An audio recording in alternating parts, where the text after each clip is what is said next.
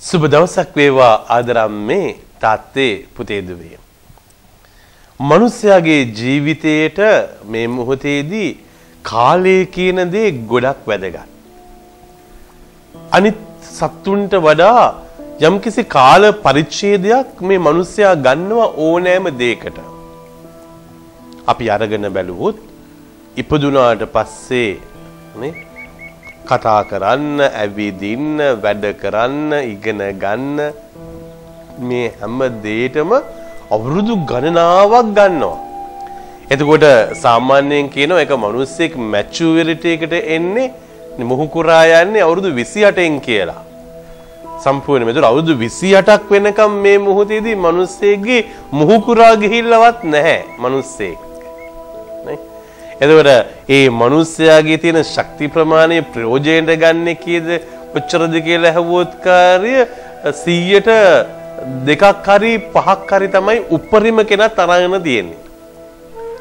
එතන බලන්න ගියාම අම්මේ තාත්තේ පුතේ දුවේ මේ මිනිස්යා ගැන මිනිස්යා දන්නේ නැහැ. මිනිස්යාගේ තියෙන ශක්ති ප්‍රමාණය ගැන මිනිස්යා දන්නේ නැහැ.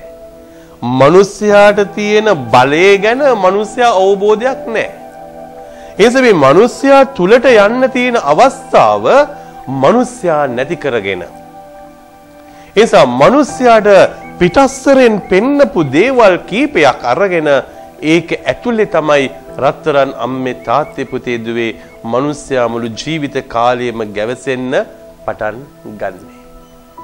ඒ නිසා තමයි රත්තරන් අම්මේ තාත්තේ පුතේ දුවේ සමහර වෙලාවට මනුස්ස සංහතිය තුල ජීවත් වෙද්දී මිනිස්යාට කලකිරීම ඇති වෙනවා, තෙහෙට්වීම ඇති වෙනවා, එපාවීම ඇති වෙනවා. අන්තිමට මේ මිනිස්යා මොනවද කරන්නේ කියලා හිතෙනවා. එතකොට අපි මොකද කරන්නේ අම්මේ තාත්තේ පුතේ දුවේ? මනුස්ස සංහතිය තුල එහෙනම් යම්කිසි ආකාරයෙන් මිනිස්යාගේ ජීවිතයට ආය අලුත් වෙන්න කාලයක් දෙන්නට ඕනේ. ට්‍රේන් වෙන්න සෑහෙන කාලයක් ගන්නවා වගේම පුරුදු පුහුණු වෙන්න සෑහෙන කාලයක් ගන්නවා වගේම මිනිස්යාට වෙනස් වෙන්නත් අතහරින්නත් අලුතෙන් ආයේ හිතන්නත් අලුතෙන් ජීවත් වෙන්න පටන් ගන්නත් යම්කිසි කාල පරිච්ඡේදයක් යනවා. ඕවර්නයිට් මිරකල්ස් සිදු වෙන ප්‍රමාණය හරි අඩුයි. ඒ නිසා තමයි මිනිස්යාගේ ජීවිතයේ ප්‍රොබේෂන් පීරියඩ් එකක්. මේ කාල පරිච්ඡේදය තුළ යම්කිසි ආකාරයෙන් පුහුණු වීමේ කාලයක් වෙනස භුක්ති විඳින කාල පරිච්ඡේදයක් වෙන් වෙලා තියෙනවා.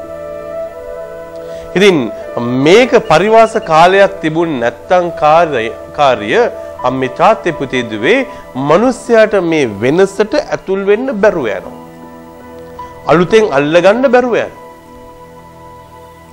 ටික දෙනෙක් ඉන්නවා හරි ඉක්මනට මේ වෙනස්කම ඇතුළට ගිහිල්ලා ජීවිතය අලුතෙන් පටන් අරගෙන ආයෙත් ගොඩනගා ගන්නවා. නමුත් බහුතරයක් හරි පරක්කුයි.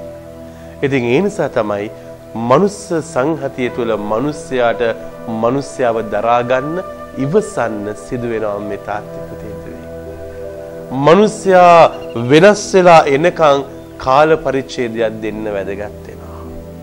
ඒක දුන්නේ නැත්තම් අපි ඩිමාන්ඩ් කරાવી, අපි බනීවි, අපි ගහાવી, අපි දඬුවම් කරાવી, අපි අතහැරලා දමාවි.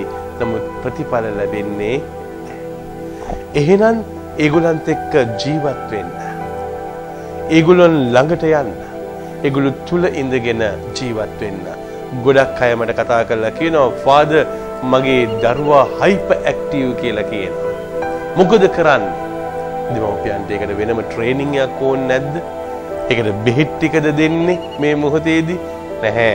එවැනි දරුවෙක්ව ගොඩනගා ගන්න මොන තරම් අම්මයි තාත්තයි ඒ වගේම මියුසික් පාවිච්චි කරලා සබහදාම පාවිච්චි කරලා මුහුදු වෙරළ පාවිච්චි කරලා කතා බහ කරන විදීන් පාවිච්චි කරලා මේ සෙල්ලම් කරන විදිය අල්ලන විදිය මේ ඔක්කොම තුල තමයි මෙන්න මේ ආයෙත් මේ වෙනසට ගේන්න පුළුවන්කමක් ඇති වෙන්නේ.